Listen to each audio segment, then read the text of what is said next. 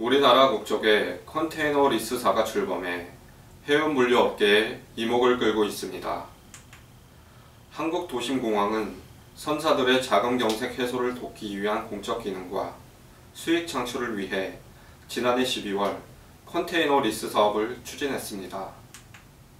도심공항은 국적 선사들에게 경쟁력 있는 가격으로 컨테이너를 적재적소에 공급해 더 이상의 국부 유출을 막겠다는 의도입니다.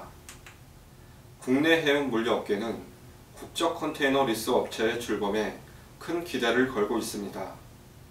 해운업계 관계자는 신용도와 재무구조가 탄탄한 도심공항이 컨테이너 리스 사업에서 큰 성장을 이어간다면 국적 선사들과 컨테이너 매매 업체들의 포트폴리오 구성에 큰 도움이 될 것이라고 말했습니다.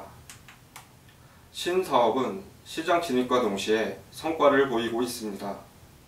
도심공항은 국적 선사인 흥아해운과 2,000TEU 규모의 리스 계약을 체결해 컨테이너 박스를 8에서 10년간 리스 형태로 공급합니다.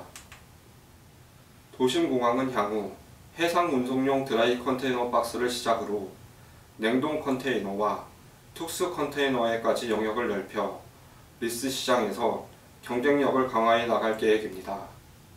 KSG 뉴스 최성훈입니다.